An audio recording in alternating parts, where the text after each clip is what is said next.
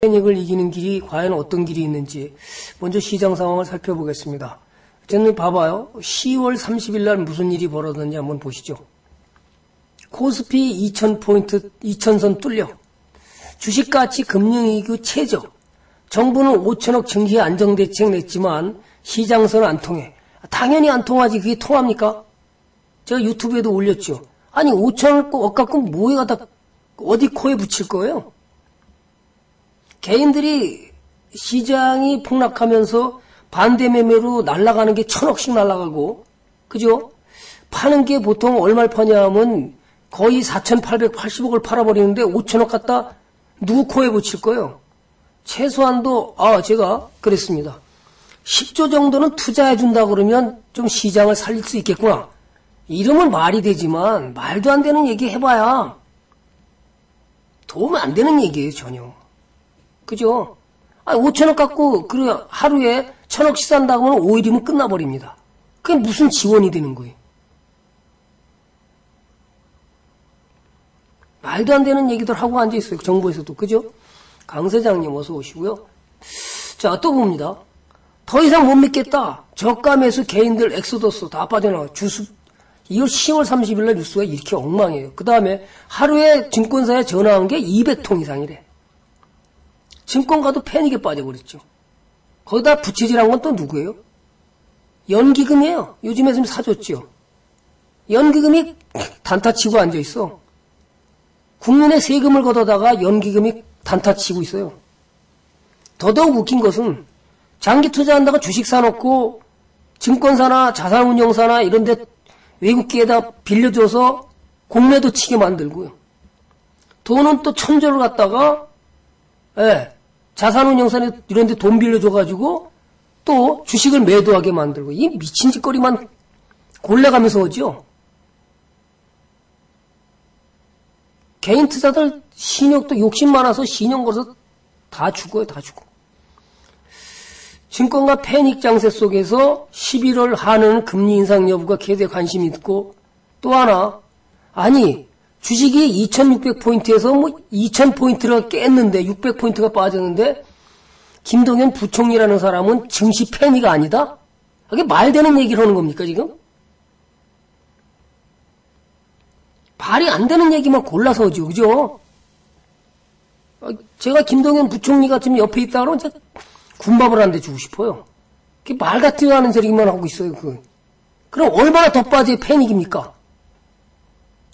그죠? 여러분 상상, 상상해봐요.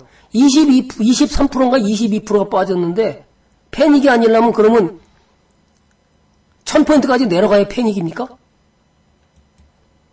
경제지표가 뭐예요? 제가 얘기 안 하려고 그러다가 지금 아까 물어보셔서 경제지표가 뭐죠?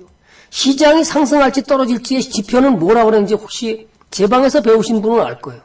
자, 그럼 한번 채팅창에 한번 써보시죠. 시장이 올라갈지 떨어질지 지표로 미리 알 수 있는 방법이 있다. 그게 뭘까요?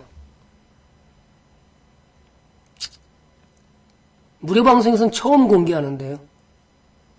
우리 포트폴리오님은 유료 회원이니까 당연히. 그게 뭐예요?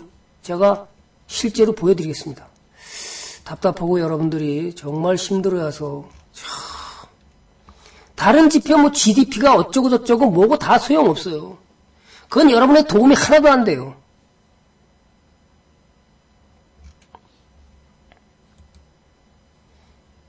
제가 무료 방송에서 처음 공개하는 겁니다. 자, 그러면 음, 어, 어디 갔어?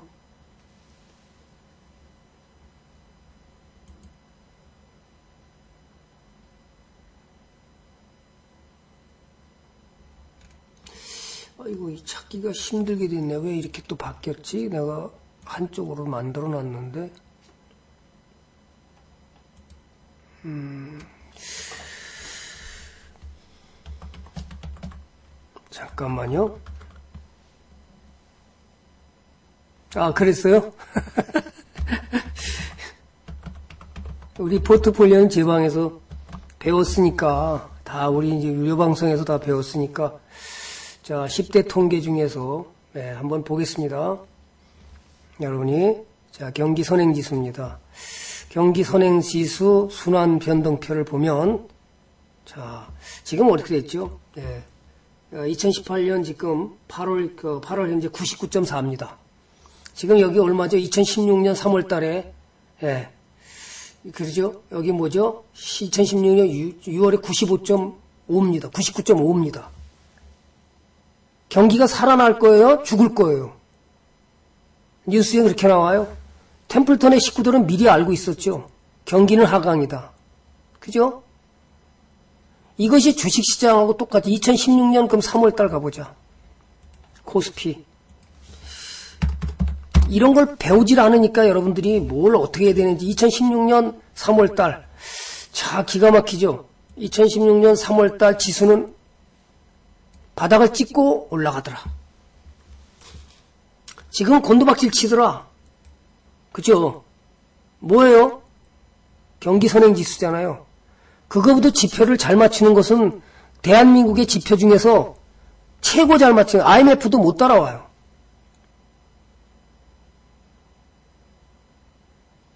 이걸 보고 와야 되는데 무슨 경제부총리라는 사람이 뭐, 뭐 패닉이 아니라고 그 말 같지도 않은 소리만 하고 앉아있어요, 진짜로. 그죠? 아, 그럼 천포인트 빠져야 패닉인가요? 자, 경제지수는 경제지표가 선행지수가 경제팀들이 다 있지만 선행지수가 이렇게 경기 하락, 하강하고 있다는 것은 2016년 상반기 초에 최점점을 깨버렸어요. 그러면 이게 경기가 금방 살아날까요? 경제학의 기본을 아는 사람들은 이 정도는 알지요. 그런데 아니라고 우기는 건 또 뭐예요? 말도 안 되는 얘기만 하고 있죠. 진짜. 그래서 힘들어가는 것을 어떻게 이끌어가기 위해서 뭘 해야 되는지 물론 경기가 최악으로 갔을 때부터가 바닥을 잡고 다시 시장이 상승하는 거예요. 그것이 6개월 선행으로 가죠. 그럼 빨리 이게 경기가 최악으로 가고 있으니까 이걸 살리기 위해서 정부는 노력해야 되죠. 최악으로 갔다가 올라갈 때 지수가 올라가고 지수가 여기서부터 위험하다 위험하다 제가 계속해서 우리 유리원들한테 현금 확보 그랬더니 우리 유리원이 어제도 전문가님 이제 슬슬 제가 뭘 한다 쇼핑 들어갔습니다. 현금 보유한 사람들은 쇼핑 들어가겠습니다. 대번에 이렇게 나옵니다. 충분히 떨어질 만큼 떨어졌으니까 이제 슬슬 조금씩 쇼핑을 늘리겠습니다. 얼마나 멋진지 몰라요. 그죠? 여러분 상상 초월이죠. 그래서 제가 종목은 우량한 종, 뭐죠? 현금은 현금장님도 있던데요. 현금은 우량한 종목이다 그런 거예요. 또 볼까요? 처음으로 여러분들한테 경기 선행 지수가 떨어지면 지수도 떨어지는 거예요. 경기 선행 지수가 올라가기 시작하면 지수가 올라가는 겁니다. 다 유료 방송에서 배우는 거예요. 무료 방송에서는 처음 얘기를 했죠. 그래 유료 방송에서 여러분이 기초를 배워야 지수가 어떻게 됐든 뭐가 됐든 기본을 배워야 되는데 뭐, 그 아니 뭐 며칠 만에 나가는데 그 사람이 뭘 배우고 나가겠어요? 시장이 어렵다고 그냥 나가버려요. 그러면 그 사람이 뭘 배우고 나가겠어요? 안타깝죠 저는요. 기본이 안 돼 있는데요. 전혀 기본이 안 돼 있어요. 자, 또 보겠습니다. 반대매매. 자, 지수를 보면서 2000, 지난 9월에는 연 1평균 반대매매 규모가 55억. 10월에 들어와서 1평균 250억. 지난 12일에는 코스피에서 364억, 코스닥에서 417억, 반대매매가 일어나서 거의, 예, 783억인가요? 781억? 돈을 뺏겼습니다. 그래서 30일에는 한국거래소에 따르면 코스피 시장에서 451억, 코스닥 시장에서 558억, 반대 매매가 1010억이 날렸어요. 얼마나 무서운 사례인지도 모르는데 개인 투자들 이렇게 신용을 좋아해요. 경기 선행지수는 하강 국면을 찍고 있는데 돈을 벌어보겠다고 있는 대로 가 몰빵합니다. 이길 수 있을까요? 다 지는 거예요. 반대면 증권사는 주식 투자금을 빌려준 후에 주가 하락해서 주식 평가에 일정 수의 증거금, 주식 담보비율 140% 밑으로 떨어지면 자금 이수에서 강제 매도를 하죠. 120% 하는 데가 있고 140% 통상 140%입니다. 신용 걸어본 사람들 많지요. 신용 걸어서 돈을 벌겠다고요. 그게 얼마나 힘든지 그러면 신용을 걸어서도 내가 그 이자를 감당할 수 있는 능력이 되고 충분히 마음대로 따라갈 수 있는 기본이 돼 있어서 돈에 대한 어 내가 1년 안에 그 신용 때문에 털려도 1년 안에 돈 벌 수 있는 능력이 된다면 갚을 수 있는 능력이 된다면 신용을 해야 돼요. 그렇지 않다면 신용 들어가면 아마 거의 100%는 깡통이에요. 99%는 깡통이라고 보시면 됩니다.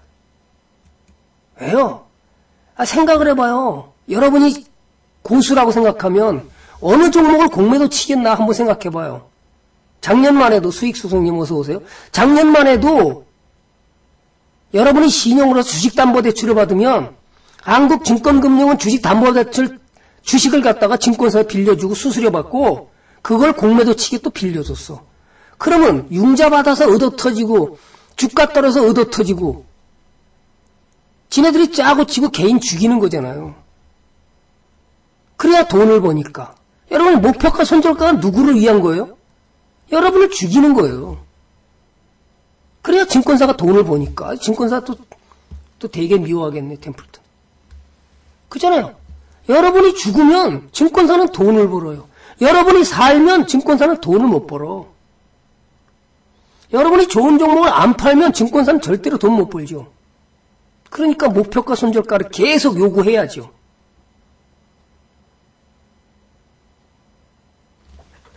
죄송한 얘기지만 증권사한테는 저는 자 트럼프의 중국과의 위대한 합의설이 30일 날 지수 반등을 강력하게 해줬죠. 그죠? 또 하나 네, 쩐 부자님도 어서 오시고요. 이번에 한미 간의 비핵화 대북 제재, 남북 협력 등이 논의할 working group을 11월에 출발한다. 지난번에 비선인가 누가 오셔서 그죠? 앞서가지 마라. 대기업에다가 경고 줬죠.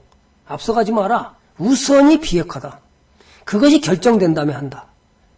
정부에서는 빠른 속도로 해서 11월 말이나 12월 초에 남북 철도 연결을 한다고 그랬는데 늦춰졌죠. 12월 중순인가요?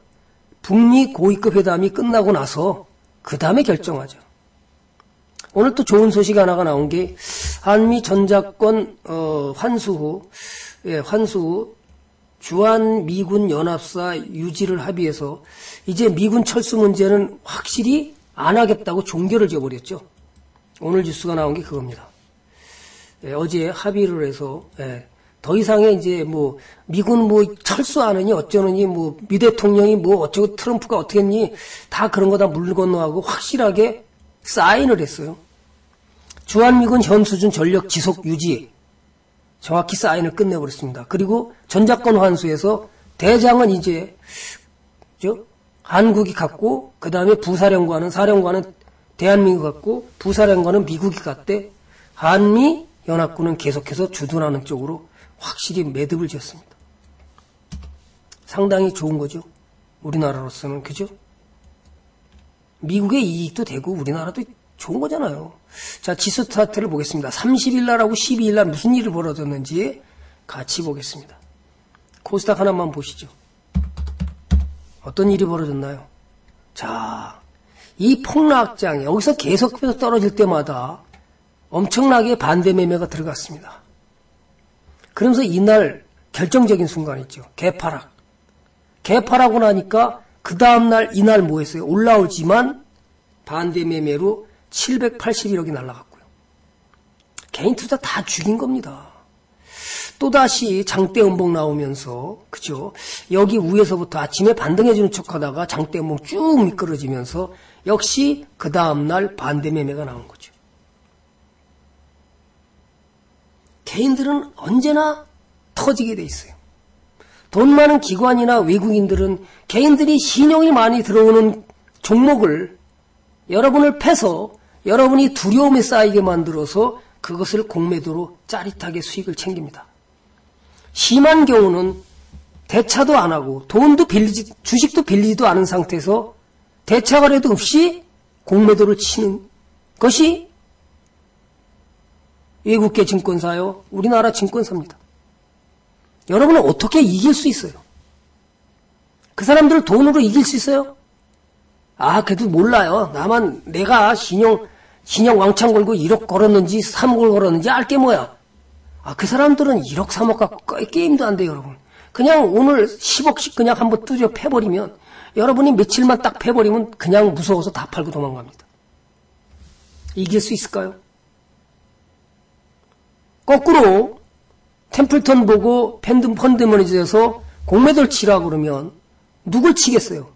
개인들이 가장 신용이 많이 들어온 종목에다가 야 30억만 풀어 알겠습니다. 30억만 때려버리면 어떻게 될까요? 장대음봉 한번 나오면 놀래서 다 그냥 우르르 도망가지요. 그럼 어떻게 해요? 이겨요? 못 이기잖아요. 못 이기는 걸 왜 하는 거예요? 참으로 안타깝죠. 못 이기는데 왜 해요? 그럼 이기는 길이 뭐냐는 거예요.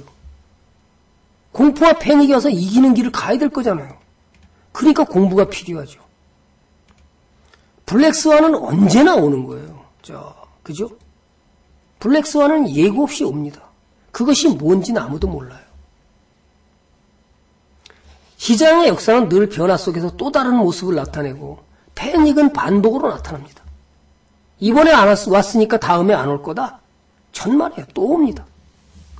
블랙스완이 나온다고 누구도 예측하기 어려운 것이 시장의 역사고 알 수도 없는 그 캄캄한 곳일지라도 좋은 기업에 여러분이 동업했다면 기업은 언제나 블랙스완을 이기면서 성장한다는 것에 여러분 믿음 속에서 동업을 하고 자본주의가 생존하는 한 투자는 계속돼야 되는 거예요. 그래 여러분이 돈을 벌 수 있잖아요. 자본주의 시장의 속성이라고 할 수 있는 불가피한 시장 붕괴가 왔을 때 투자자는 그럼 어떻게 할까요? 한 가지 확실한 것은 뭐죠? 패닉에 빠져서 다 팔아치우세요. 여러분이 이길 수 있을까요? 그러면 절대로 안 되는 거예요. 일단 냉정하고 그러려면 확실한 자산 배분 원칙과 비중의 원칙을 가지고 있어야 되고 그죠? 어떻게 대응할 것이 대응을 하는 방법을 여러분마다 자신의 원칙이 있어야 돼요. 이상적인 방법은 그럼 뭘까요? 주가가 극적으로 떨어지면 기다리다 보면 추세 전환라고 할죠. 아, 나 수익이 많이 났습니다. 그러면 위에다가 어, 시스템 매매로다가 이 이하는 팔아주세요. 설정해 놓으라고 그러면 그걸 배우고도 안 해요. 처음으로 공개할 거야. 유료 방송에서 하는 건데. 자, 오늘 어떻게 되는지 모르겠는데요. 다 까먹어요. 또 올라갔네? 그죠? 또 올라갔죠. 아니, 이렇게 설정해 놓고, 제가 유료 방, 유료 방송에서 그러면 설정을 딱 해놓고 자리 비움에다가. 캐치인가요? 어우, 이 이하는 팔아두세요. 올라가면 안 팔어. 또 올라갔냐? 어, 여기다 또 올려놓지. 이 이하는 팔아줘. 아, 수익 많이 났거든, 여다. 여기 이 이하 떨어지면 팔아주세요. 그럼 자동으로 팔리잖아요. 맞아요? 자동으로 팔리죠. 자, 그러면 HB 테크놀로지. 와, 추세가 여기서부터 꺾이죠. 다 뭐예요? OLED 종목. 그럼 여기다 이렇게 설정을 해놓으면 되잖아요. 아우, 마음대로 해라. 코코파님 어서 오세요. 여기다 설정해놓고, 어, 이 이하는 팔아줘. 아, 내가 수익이 좀 많이 났거든. 그럼 여기다가 딱 설정해놓고, 내 종목에다. 아, 내 종목 30종목 다 설정해놓으면 되잖아요. 마음대로 해라. 떨어질 거냐? 추세는 가고 있는데, 어이, 안 떨어지겠지? 그럼 여기다가 딱 그려놓고, 야, 여기다가 가격을 얼마?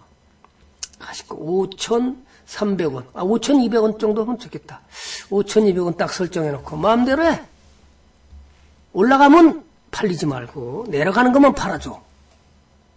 그럼 여러분은 이건 이미 수익이 챙겼잖아.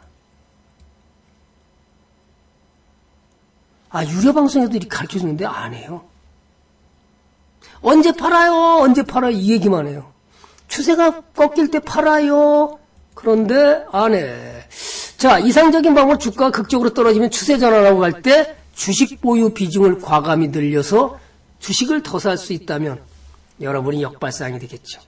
오, 주식 수가 늘어났네. 싸게. 아, 그럼 내가 여기서 샀습니다. 그죠? 싸게. 어우, 돈을 많이 벌었어요. 떨어졌어요. 이제 갈라 그러네. 슬슬 살까? 주식 더 사서 가지, 뭐. 여러분, 어떻게 되는 거예요? 주식 수가 또 왕창 늘었네. 주가만 올라가면 난 돈 벌겠네. 이게 뭐예요? 장기 투자. 그렇게 위해서는 여러분이 어떻게 해요? 충분한 조정할 때 기다려야 되고, 거기엔 두둑한 배짱도 가져야 되고, 시장의 바닥을 치기 전에 당신이 갖고 있는 현금이 먼저 바닥나면 안 되죠. 그래서 현금은 우량한 종목이다. 현금을 반드시 보유한다 그랬더니 다 팔아. 가만히 있어봐. 있는 대로 박박 긁어서 100원짜리 남을 때까지 주식 다 사. 나 현금 보유했는다. 현금을 보유하고 있습니다. 그런 사람만 1번 한번 눌러보세요. 이건 대단한 고수입니다.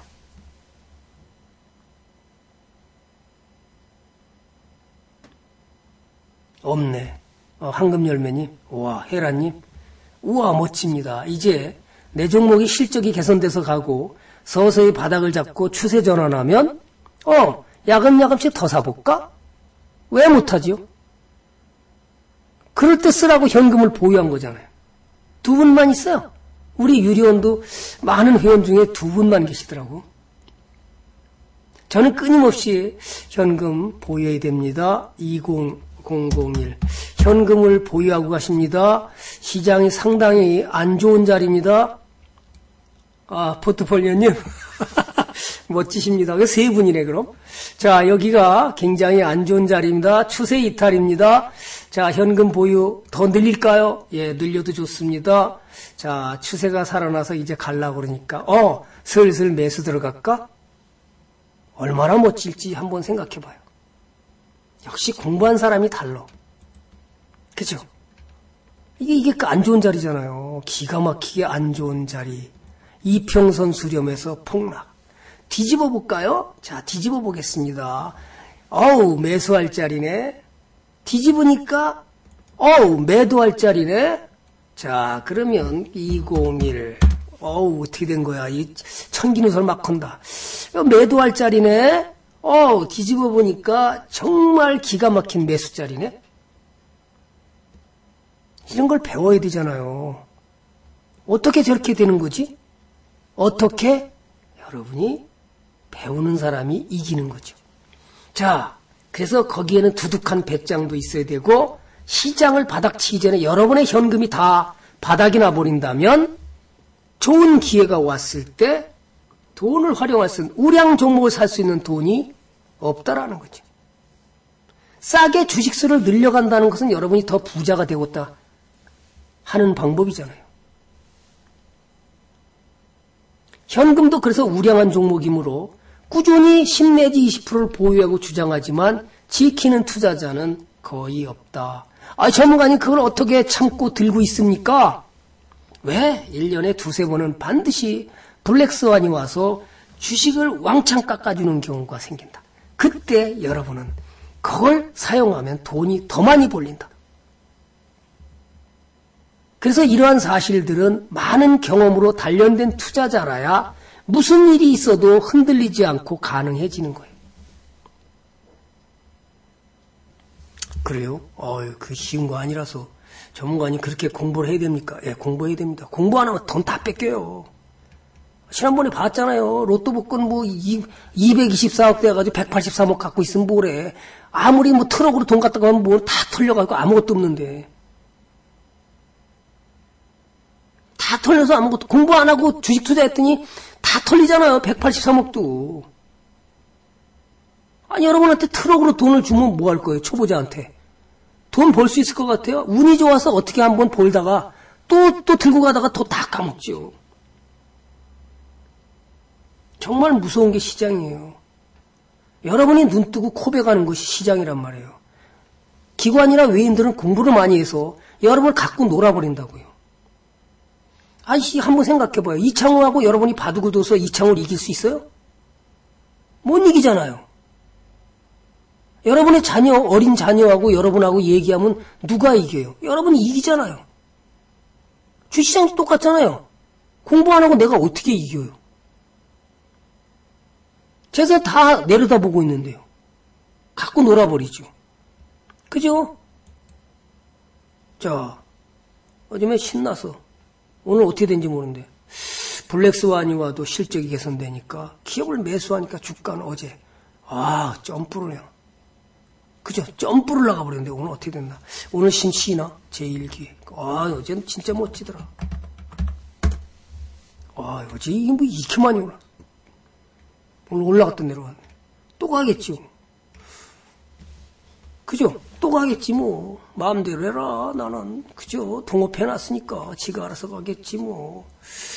어이구 좋은 종목 샀더니 오늘 또 올라갔네. 음, 저 난리 났네. 아이고 오늘 참 이게 미, 미쳤어요. 그죠? 사마 내가 팔아버렸는데 사마 전기 급등 실적 개선됐나 보지? 또 나가네. 슬슬 저점 잡고 또 나갑니다. 또 사마 콘덴사. 차, 이걸 안 판 사람이 있어.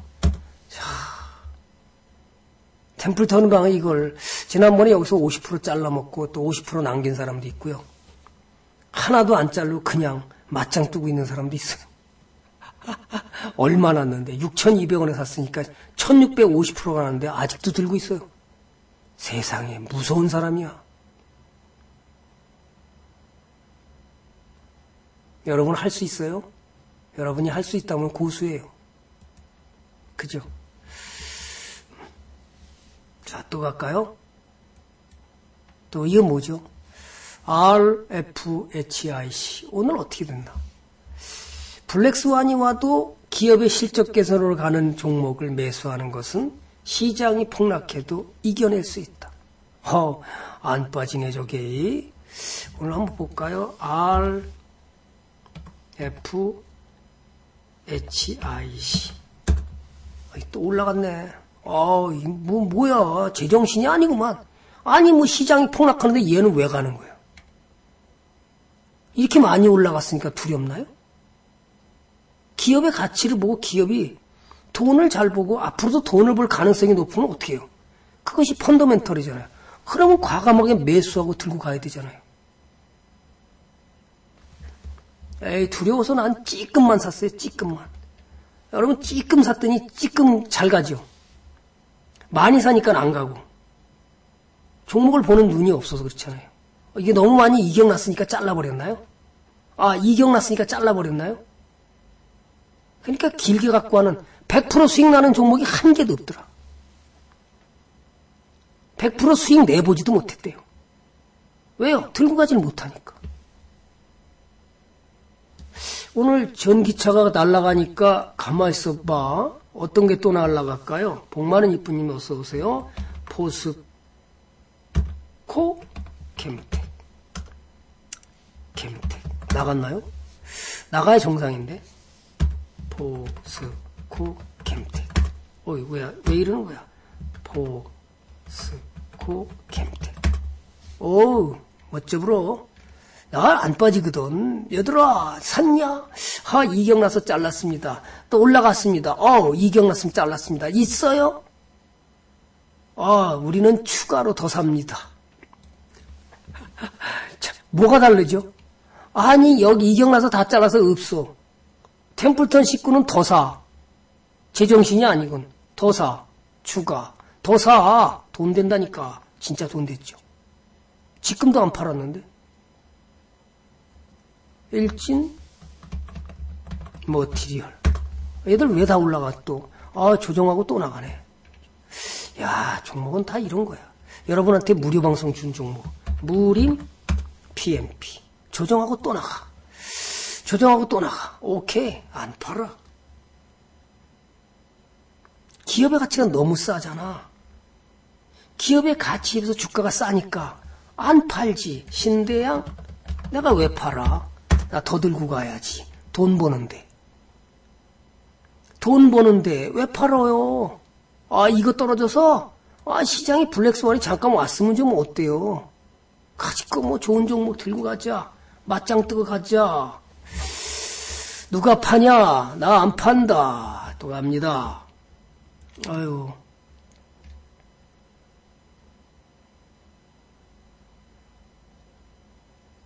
얘는 뭐예요? 한창제지죠. 블랙스완이었어요. 아, 이렇게 못 갈 때 슬슬슬슬 샀더니요. 점프 딱 나가는 거예요. 엄마? 이게 왜 그래요? 뭔 일이에요? 펀더멘탈이잖아요. 아, 펄프 값이 올라서 한창제지가 점프 딱 나간 거죠. 돈을 버니까. 다 팔아버렸나요? 한창제지 다 팔아버렸나요? 에? 제가 먹을 때 위에다가 딱 설정해서 잘라 먹어라. 잘라 먹어라. 저는 아직 안 잘랐는데요. 전문가님 저는 62% 먹고 잘라 먹었는데 또 올라갔네요. 그럼 또 들고 가세요. 나 딱 이렇게 설정해 놓고요. 해보세요. 예. 이안 내려가면 안, 안 내려오면 아 여기까지 설정할 건가 여기까지 설정한 가 아 위에는 까치밥 준다 생각하고 딱 설정해 놓고 가면 지가 알아서 이제 잘라줘요 떨어지면 올라가면 안 잘리지 그럼 갈 때까지 또 가는 거지 뭐 야 또 갔냐 신고가 냈냐 그럼 또 올리는 거지 뭐 여러분이 어떻게 해야 돼요 뭘 두려워하는 거예요 제대로 배워서 제대로 활용을 해야 되는데 활용을 안 하잖아요 배운 것을 활용하면 좋은데 배우고 활용을 안 해. 어우, 이거는 뭐 미쳐서 가네 저게. 뭔진 몰라. 우리는 어제도 샀는데. 그죠? 어제도 그냥 세 종목씩 사버렸어요. 사라. 좋은 일 벌어진다. 그랬더니 어제 저녁에 우리 전문가님, 제가 오늘부터 조금씩 계속해서 쇼핑에 들어가겠습니다. 아, 그래서 저는 가르치고 나서 우리 유련이 그렇게 나오니까 진짜 뿌듯하고 굉장히 기분이 좋죠, 당연히. 야, 얼마나 멋지냐. 600포인트 빠지고 나서 이제 슬슬 매집으로 들어가겠다 그러는데, 아, 참, 얼마나 멋진지 몰라요. 공부가 중요하죠. 두 번째. 그래서 시장의 흐름을 읽어야 대비가 가능해지죠. 맞아요? 주식시장의 역사를 배운 투자자라면 반드시 광기와 패닉의 붕괴를 이해할 수 있어야 돼요. 네덜란드의 튜올립 광풍이 불었을 때 참 너무 웃기는 얘기죠. 그때 당시에는 집, 집안에 하인이 많았었죠. 그래서 이제 구군을, 집 한 채 값에 구군을 사다가 탁자 위에다 올려놓고 이제 심으려고, 그걸 잘 보관해서 심으려고, 그렇지 않으면 이제 팔라고 그랬던 것을 올라가면 팔라고 딱 사다 놔서 탁자 위에다 올려놨더니 나갔더는 하인이 뭔지를 모르고 양판 줄 알고 홀라당 먹어버린 거예요. 주인이 나갔다 들어오다가 여기 탁자 위에 있던 튤립 구군이 어디 갔냐? 어, 그거 양판 줄 알고 제가 먹었는데요. 와, 그러니 저 하인을 때려 죽일 수도 없고 살릴 수도 없고 참 그죠? 전주 투자님 어서 오세요. 때려 죽일 수도 없고 살릴 수도 없고 그 그때 그 공포와 패닉은 어땠을까요? 여러분의 시장이 10월 달에 급, 급락으로 갔을 때 공포와 패닉은 얼마 어떻게 됐을지 상상이 되죠. 전문가님 다 팔고 도망갈까요? 아니요. 참 힘들지요? 네, 잘 참아내시면 좋은 날이 금방 옵니다. 그죠? 잘 차, 좋은 종목을 들고 있어 잘 참아내면 좋은 날이 금방 옵니다. 지수가 이만큼 올라갈 때 종목은 이거의 두 배 정도 올라갑니다. 빠른 속도로 회복되죠. 시장이 좋을 때 모든 게 한순간에 지옥으로 변해볼 수 있다는 점을 우리는 기억해야 된다. 왜? 그게 바로 블랙스완이잖아요. 수많은 사람들이 흰 백조만 있다고 생각했지 black 백조가 있으리란 상상을 못했죠. 어느 날 호수에 black 백조가 앉으니까 깜짝 놀란 거죠. 어? black 백조가 있네. 전에 우리나라에서는 예, 하얀 사슴을 낳았다고 그래서 화제가 됐던 일이 있습니다. 이것은 뭐 어때 돼서 뭐 그죠? 염색체가 무슨 이상이 있어서 하얀 사슴이 태어났는데 그것이 무슨 길한 일이라고 거기다가 뭘 붙여놓고 아우성 나지요. 마찬가지로 시장이 비관주의가 팽팽해 있을 때는 늘 그랬듯이 모든 게 반절될 수 있다. 다시 말해서 모든 게 개인 투자자들이 이렇게 온통 개미들의 비명과 더 이상 못 믿겠다. 하루에 200통 전화 난리 났다. 깡통이 여기저기 수도 없이 났다. 이 비명 소리가 들리는 순간 주가는 이제 뭘로 변한다? 상승으로 전환하더라. 그게 이날이잖아요. 30날. 10월 30일. 재밌죠? 여러분이 이걸 이해하면 별것도 아니에요. 패닉? 별것도 아니에요. 공포? 여러분이 신용을 걸지 않고 좋은 기업을 샀다면 결국은 주식은 인플레이 때문에 또 갈 수밖에 없는 거죠. 광기에서 패닉 붕괴로 이어지는 사이클이 이제는 더 이상 없을 거라고 믿는다면 그거야말로 가장 어리석은 생각이죠. 맞아요? 어리석은 생각이잖아요. 세상은 변하지만 시장의 역사는 또 다른 모습으로 여러분한테 나타날 겁니다. 1년에 두세 번씩.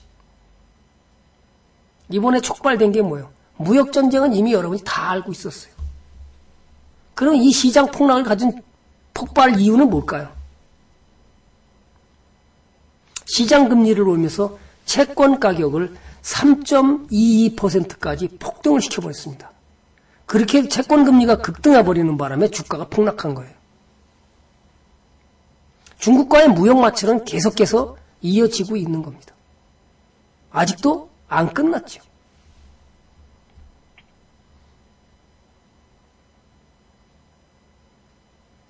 광기에서 패닉으로, 패닉에서 붕괴로, 이제 개인들이 아우성 치고 난리 났을 때, 그때 시장은 돌아선다. 그래서 우리가 거품과 그 붕괴의 역사에서 배울 수 있는 가장 값비싼 교훈은 뭐냐? 장밋빛 전망이 넘쳐 흐를 때, 바로 미래 수익이 가장 낮은 시점이고, 시장이 얼어붙을 것 같을 때, 미래 수익이 가장 높은 시점이다. 다시 말해서 여러분이 가장 돈을 못 벌 거다 생각하는 그 자리가 앞으로 돈을 엄청 벌어줄 수 있는 절호의 찬스라는 거예요. 그래서 위기는 위대한 기회가 되는 거예요.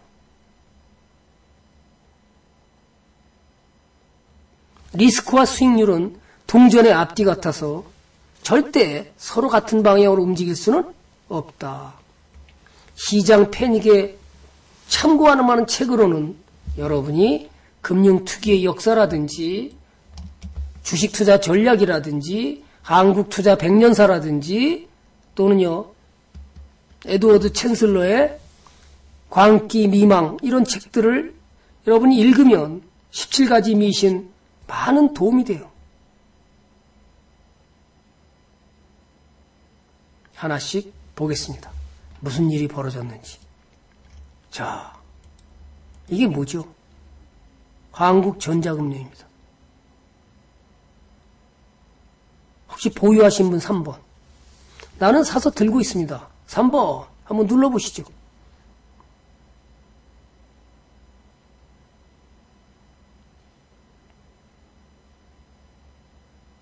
아무도 없네. 100명에 가까운 회원들이 와 있는데 아무도 없어. 왜 이걸 얘기했을까? 여러분이 키오스크 종목, 아, 너무 올랐어요. 전문가님 너무 올라서 제가 못 삽니다. 무슨 종목이요? 아, 멋쟁이님? 어이, 뭐, 진짜 멋쟁이네요. 시장이 내년 최저임금 상승이 8,350원인가요?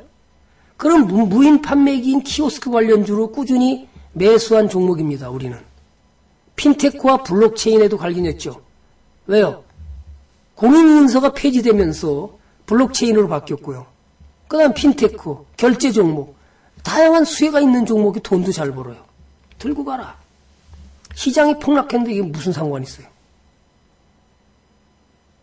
좋은 종목이다. 아, 못 들고 가요, 무서워서. 많이 올랐잖아요. 물론 템플턴의 식구는 여기서부터 샀으니까 수익이 제법 큽니다. 그래도 여기서 또 샀으니까. 나중에 온 사람들은. 무슨 일이에요? 안 팔아. 이게 정부 수혜잖아요. 오늘 뭐 계속해서 나오는 것이 장거시키하고 김거시키는 이제 어, 퇴출해야 된다. 그죠? 소득 주도 성장이 경기가 확실하게 하강 국면을 가는 걸 보여줬는데도 아직도 제정신을 못 차리냐? 소득 주도 성장? 에? 다른 나라들은 경기가 살아서 좋다고 난리 치는데 대한민국만 거꾸로 간다? 아니다? 시장 패닉이 아니다? 어, 역시. 아니야, 1000포인트까지 빠져야 시장 패닉이 오는 것이지, 아직 600포인트는 패닉이 아니야. 그렇게 얘기할까요? 경기 선행 지수는 거꾸로 가서 2016년 시장이 좋을 때 거기보다 더 떨어졌는데도 불구하고 시장 패닉은 아니래. 그럼 언제 가야 시장 패닉인 겁니까? 경기 하강 국면으로 다 떨어져 있는데 그런 지표를 얘기해주는 방이 있나? 모르겠어요. 처음으로 유료 방송에서만 주로 하던 건데 무료 방송에서 처음으로 공개합니다. 얼마나 시장이 안 좋은지 봤었던 거죠. 그러면 시장이 왜 한번 보자고. 시장이 안 좋았을 때 어떤 일이 벌어졌는지 이건가요, 먼저? 자, 리먼 사태. 97년에 12월에 IMF 사태. 리먼 사태 대폭락. 그렉시트 폭락. 미국 신용등급 하향 폭락. 유럽 재정위기 폭락. 버냉키 긴축 발작 폭락. 위안화 절하 폭락. 미국 금리 인상 2016년 1월 달에 폭락. 브렉시트 폭락. 뭐, 미 금리 인상 또 폭락. 남북 정상회담 이거 폭락 없습니다. 자, 시장이 폭락하고 어떤 종목이 주도주로 나갔는지 전문가님 주도주 알려주세요. 주도주. 1988년도에 예, 올림픽 전에 트로이카 3인방 은행주, 증권주, 건설주가 폭등을 했죠. 시장을 이끌었습니다. 또 외국인의 직접 투자가 허용한 93년도인가요? 저PER 혁명이 일어났죠. 저PER주를 좋아하는 사람이 누구예요? 존 네프잖아요. 존 네프가 뭐라고 썼어요?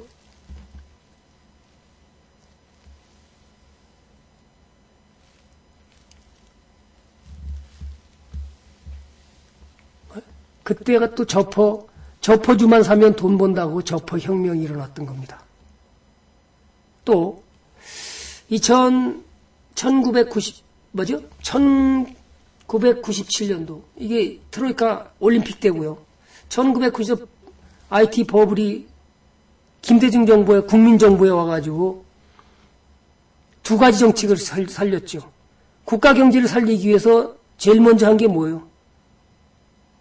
개인들을 죽이고 시장을 살리겠다. 개인들을 죽이는 게 뭐예요? 카드 남발. 그 다음에 실적도 없는 별 볼 일 없는 기업들을 그저 IT에 테크만 들어가도 주가가 폭등했죠. 세럼 기술, 그죠? 한컴 1700%, 1800% 날라갔습니다. 주식이 뭔지도 모르고 주식했죠. SK텔레콤.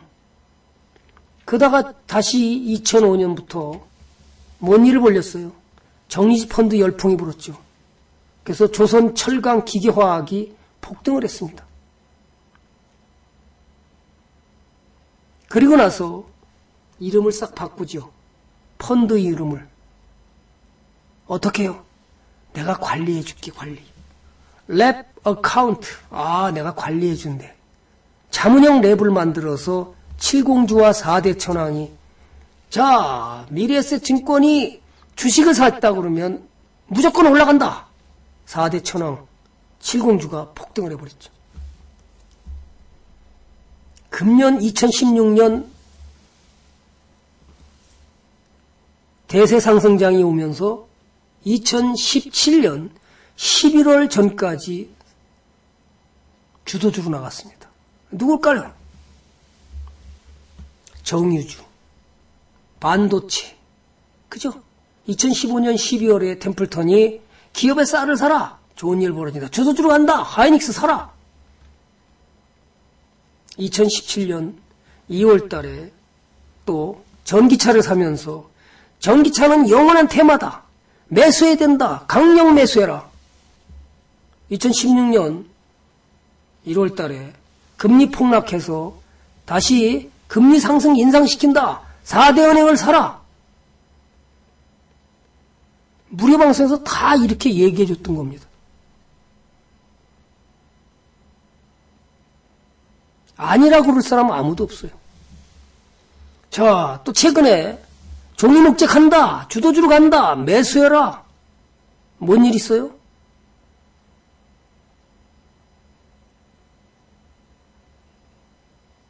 그죠? 몇백 프로가 순식간에 났죠. 자, 제2의 주도주가 또 나갑니다.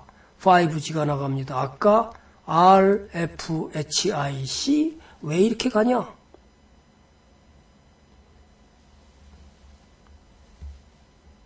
오늘은 어떻게 됐을까? 궁금하다.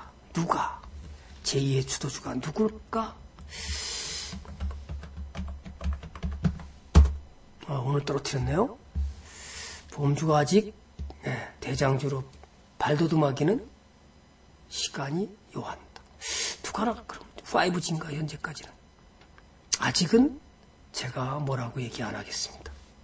자, 우리는 주도주가 가고 이렇게 갈때뭔 주도주가 시장이 폭락하면 새로운 주도주가 이렇게 태어나는 겁니다. 새로운 주도주를 여러분이 잡아야 수익이 커지는 거예요. 그래서 세상은 변하지만 시장의 역사는 또 다른 모습으로 나타날 거예요. 여러분 어떻게 대비를 해야 되잖아요. 뭔 종목에 나갈까? 어 이렇게 가는데. 자 이번에 나갈 때 2016년 상반기에 나갈 때 IT가 반도체가 나갔고 그 다음에 제약바이오가 나갔고 셀트리온이 나가면서 바이오주 폭등을 해버렸고 그죠? 신라젠 같은 종목이 무려 시가총이 9조 9천억 거의 10조를 날라갔죠. 제약 바이오 그 다음에 전기차 뭐예요? 한번 보자고요. 오 전기차가 그럼 포스코 캠텍이 언제 갔는지 한번 보세요. 2017년 2월 달이네요. 어, 그죠? 그럼 한번 에코프로가 언제 갔냐? 에코프로가, 어우, 같이 가냐? 너도 2017년 2월 달이네? 동반 상승하는 거야? 어떤 분은 뭐 증권주만 동반 상승한다는데 그런 게 어딨어요. 업종이 동반 상승하는 거예요. IT가 가니까 원익 IPS가 270%를 날라갔죠. 그래서 좋아지는 일인데 오늘 삼성전자가 저는 사지 말라고 그랬습니다. 기념으로만 사라. 돈안 된다. 이번에 좀 반등을 해줬죠. 왜요? 미국이 중국에 디램 반도체를 만드는 장비주를 수출 금지. 아이구야 반사적으로 이익 볼 수 있는 기업은 하이닉스와 역시 누구예요? 삼성전자. 야, 고맙다, 트럼프야. 그죠? 트럼프야, 고맙다. 우리 경제 살려줘서. 잘못될까요? 그럼 우리는 뭘 투자해야 될까? 이제 슬슬 누가 갈까? 시스템 반도체, 비메모리 반도체는 갈래나? 모르겠습니다. 음, 비메모리 반도체는 가네. 그죠? 오, 자, 우리는 경제적 자인도 어서 오세요. 여러분한테 저는 아이디어를 자꾸만 주는데 그것이 뭔지를 깨닫는 사람들은 아 그렇구나. 제가 어, 작년 재작년에 뭐라고 그랬냐면 유료 방송에서 중국이 뭐 40조를 칭하이가 뭐 얼마 28조를 투자하고 그럼 디램 반도체 금방 그렇게 기술이 발달해서 만들 수 있을까? 불가능. 2년 동안 괜찮을 거야. 그죠? 2년 동안 괜찮을 거예요. 2018년까지는 괜찮을 거예요. 저는 그랬습니다. 그러면 제일 먼저 가져갈 게 뭘까? 아, 메모리보다는 비메모리겠구나. 앞으로는 그러면 이제 뭐로 바뀔까요? 메모리에서 비메모리인데 이제 세 번째로 바뀌는 것은 전원이 끊어져도 저장이 될 수 있는 메모리로 바뀌겠죠. 그걸 누가 만들까요? 그죠? 삼성전자는 이미 만들고 있겠죠. 그러면 또다시 업그레이드 되니까 누가 못 따라와요? 중국이 못 따라오겠죠. 다만 시간이 요하죠. 또 하나 그렇게 되니까 이제 전원이 끊어져도 아무 관계 없다. 어, 자 시동을 꺼버렸는데 저절로 저장이 된다. 그러니까 이재용 부회장하고 정의선 부회장하고 8월 달에 삼성전자가 우리는 완성차를 만들지 않겠습니다. 오케이. 그럼 합작 투자합시다. 기아차는 이미 합작했다고 그래요? 그럼 합작한다면 삼성전자는 수많은 자율자동차에 들어가는 메모리 반도체, 수많은 반도체들이 거기다가 덧입히겠죠. 오. 그러면 둘이 합작하면 시너지 효과는 더 큰 먹거리가 생길지도 모른다. 우리는 알지 못해요. 다만 미래를 예측하고 거기다가 리스크를 걸고 좋은 기업에다 투자해 보는 거죠. 여러분이 지금 뭘 사야 돼요? 현대자동차? 아니면 삼성전자? 거기다 납품하는 회사가 좋겠죠. 오늘 어떻게 됐나? 재밌다. 그죠? 삼성전기. 오늘 강력하게 올라갔네. 자, 이제 공매도가 끝났나? 아, 공매도 끝났으니까 가면서 우리 유령 보고 사라 그래야지. 아이, 전문가님, 제정신입니까? 아, 이렇게 떨어지는데 사라고요? 돈을 얼마나 많이 버는지 상상이 안 돼. 그런데 이 폭락을 시켜놨어. 이 인간들이. 누가?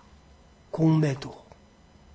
야, 공매 1등이야. 다 도망가야 되나요? 아, 알았어. 내가 살게. 걱정하지 마. 살게 1개월 봤더니, 아이고, 삼성전기가 1등이야, 공매도. 주가를 아주 다 떨어뜨려서 돈은 뒤지게 많이 버는데. 야, 우리는 슬슬 사자. 적층 세라믹 콘덴서가 앞으로도 멋진 수익을 줄 거래. 아, 싸진데, 니켈, 코, 뭐, 코발트 이런 것들이 막 싸진데, 원가가 막 절감된데, 그래서 사라. 그러니까 원가가 많이 부담되니까 이제 실적이 부진해서 박살난다? 농심. 그죠? 농심. 박살. 그죠? 박살났죠? 또, 한국전력. 뭐, 한국전력이 뭐 어떻게 됐다고요? 예, 박살. 왜 그랬을까요? 템플턴이 여기서 매도를 하면서. 얘들아, 도망가라. 차트 봐도 매도할 자리죠. 뒤집어 보면 매수할 자리잖아요. 기가 막혀 매수할 자리죠? 우와! 기가 찬다. 왜 그랬을까요? 아니, 석탄값이 올랐잖아요. 우리나라 화력발전소가 많은데. 그러니까 원, 원전 뭐예요? 원전을 중단시켜버렸잖아요. 그럼 원가가 커졌잖아요. 그죠? 거기다가 또뭐 있어요? 화력발전소 미세먼지 나온다고 화력발전소를 또 석탄을 안 때고 뭘 때요? 가스값을 때버려서 LNG 가스를. 야, 그러면 어떻게 되는 거예요? 원가가 커지니까 얘가 실적 부진, earning shock. 3개월 있다, earning shock. 또 3개월 있다, earning shock. 올해는 뭐예요? 2분기 동안. 적자 8천억. 3분기 실적 좋을까요? 또 나쁘겠죠. 왜? 이번 여름에 엄청 더워서 돈을 걷어들일 수 없게 또 어떻게 했어요? 비용을 절감시켜줬어. 아이고 죽겠네. 나 죽어. 나 좀 살려주라고 전기세 빨리 올려주세요. 안 올리네. 그럼 얘가 금방 올라갈까요? 그냥 기관하고 외국인들 다 도망가는데 여기서 계속 도망가는데 개인들은 그냥 본전 찬다고 또 사고 또 사고. 한국전력 우량한 기업이야, 좋은 기업이야, 무지무지 좋은 기업이야, 우리나라를 대표하는 기업이야, 그래서 사고 앉아 있어요. 돈이 돼야 안 돼요. 절대 안 돼. 도망치라고 그러면 뭐라 그러냐면, 아이, 훌륭한 기업이잖아요. 그렇죠. 훌륭한 기업이에요. 그러나 주식으로 돈 버는 기업은 아니라는 거죠. 안 봐요. 뭘 안 봐죠. 그냥 우량한 기업이고 그저 우리나라에 알려진 기업이니 공기업이니까 망하지 않을 기업이라고 투자해. 아니 돈을 벌어야 투자라지 돈을 못 버는데 돈을 못 벌자 3분기 연속 적자 투성인데 이걸 왜 사? 천천히 사도 늦지 않잖아요. 야 실적 개선되는 거 보고 사도 늦지 않다 그래도 굳이 우량 종목이라고 무슨 우량 종목이 밥 먹여줘요? 그러니까 이렇게 곤도박대 친 거예요. 기관하고 외국인 그냥 내일 팔고 있는데 개인들은 죽어라 사는 거예요. 본전 찾아야 된다고. 또 사고 또 사고. 물타기 하고. 우량 기업이라고. 돈 벌긴 뭘 벌어요. 다 까먹지. 그러면 역으로 한번 이렇게 생각하고. 자, 한국전력이 지금까지 수십 년을 여러분 투자해서 돈을 벌었을까요? 못 벌었을까요? 백테스트를 한번 해보겠습니다. 아, 사지 말라고 저는 그래요, 분명히. 아, 무슨 전문가 저런 사람이 다 있냐. 자, 그 백테스트를 한번 가보겠습니다. 수십 년 동안 얼마나 벌었을까요? 예? 한 30년 해볼까요? 30년? 좋습니다. 2008년, 1998년, 1889년. 자, 1888년에 내가 지금 이 기업이 태어나서 지금까지 30년을 들고 왔습니다. 얼마나 돈을 벌었을까? 얼마나 돈을 벌었을까요? 예? 2만 5천 원 했는데 지금 현재가가 얼마야? 2만 6천 원이야. 그럼 꽝이잖아. 2만 5천 원 같은 게 2만 6천 원이야. 30년 동안 들고 왔는데.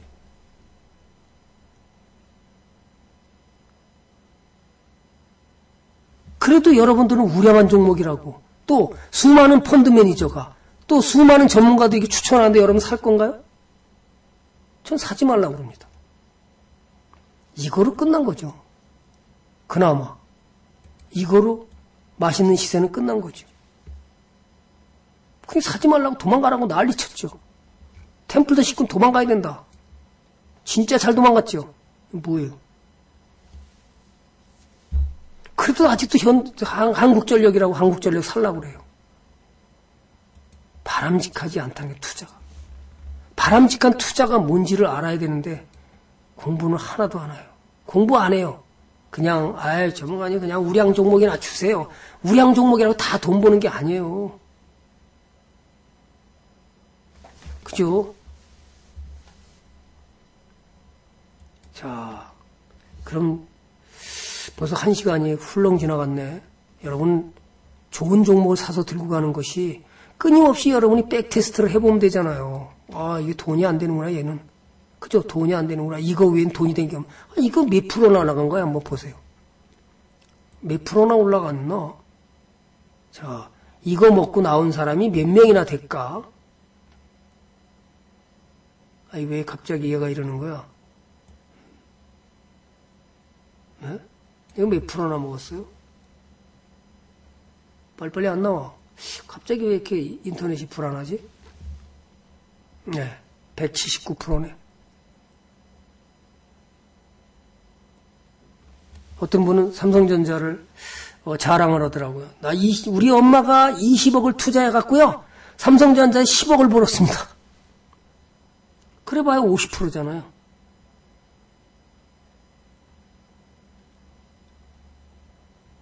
20억을 여기다 투자했으면 어떻게 될까?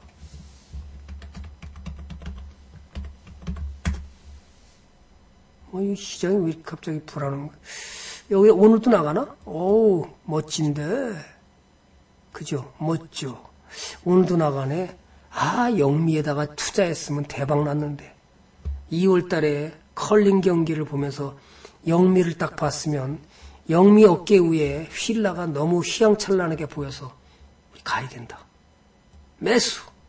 팔지 마! 어우, 멋져 버려요. 진짜 멋져 버리죠. 시장이 폭락한데 왜는 왜 안 빠지는 거래?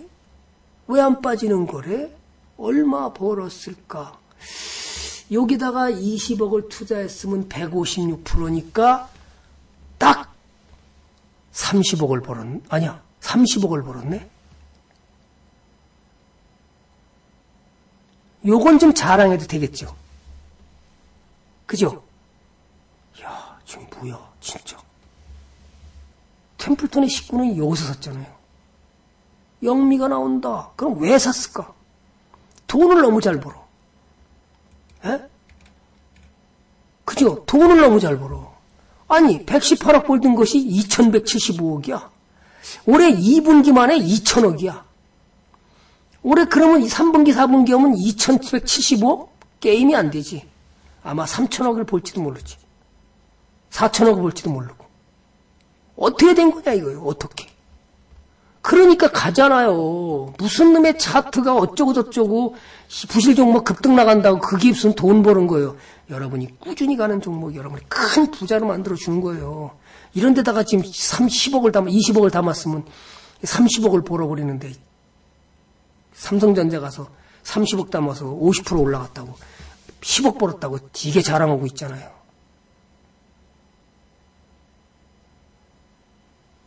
정말 무섭지요. 아니 시장이 폭락하는데 왜 이게 왜 그러는 거예요? 에? 아니 참 템플턴은 여기다 대고 더 사라 그러죠.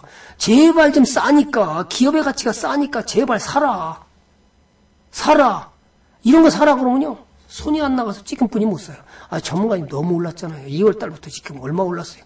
너무 올랐어. 다 못 삽니다. 너무 올라서 못 삽니다. 또 사. 못 사. 무서워서 못 사. 쳐다만 보고 있어요. 쳐다만. 그건 무슨 거 어떻게 저렇게 저걸 삽니까? 아니 이제 추세 이탈이잖아요. 전문가님 추세 이탈.